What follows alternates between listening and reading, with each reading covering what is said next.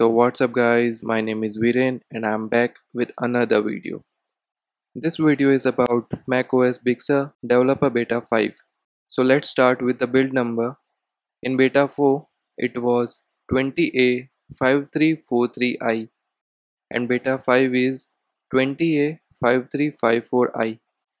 And also the size of Beta 4 was around 3.6 gigs and size of Beta 5 7.15 gigs so basically double size update compared to beta 4. Now let's begin with the macOS Big Sur Developer Beta 5. So first of all, Big Sur Beta 5 currently not supported for iMac Retina 5K 27-inch 2020 model and if you try to install it, it will either crash or you will need to reinstall macOS Catalina. So for iMac users, it would be better to wait. And for all other supported macOS devices, if your secure boot is set to no security, then you might be unable to update to beta 5. So first change in beta 5 is about menu bar icons. If you are following my videos, then in previous beta version I have talked about menu bar icons that are not clearly visible in light wallpaper. It is fixed now. Earlier the icons were in transparent white color when they were turned off and now the icons are in grey color and visible in light wallpapers as well. Next is about the control center keyboard brightness. You can see the toggle is working fine now. Earlier slider was working no matter toggle set to on or off. So it is fixed now. And also in sound toggle you get an option of audio output. If you have extra speaker connected to Bluetooth or wired ones then now you have option to switch between audio output directly from the control center or menu bar sound icon. Next I want to talk about YouTube in Safari browser. In last beta, Apple added 4K video quality support but after updating to beta 5, I only see 1080p on the same video which I played in 4K in beta 4.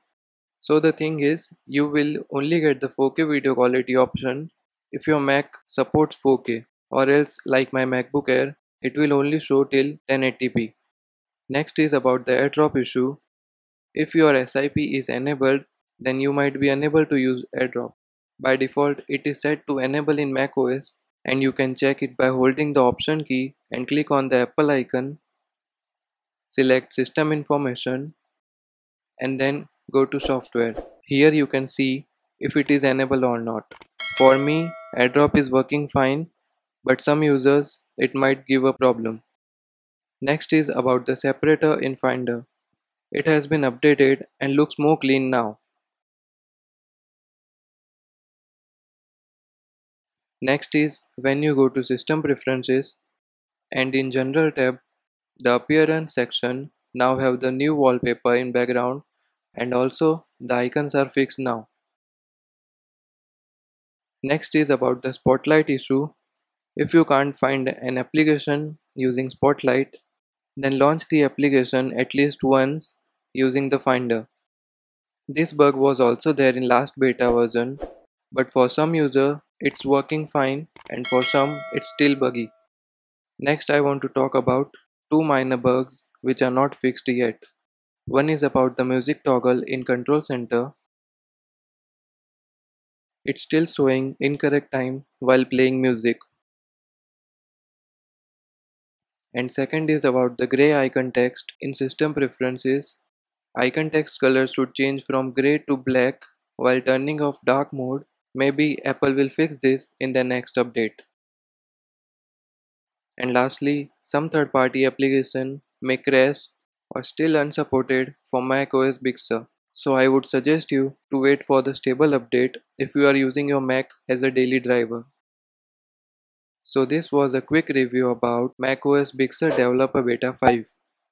Give a thumbs up if you like this video. Thanks for watching and if you are new here then do subscribe for more informational videos like this.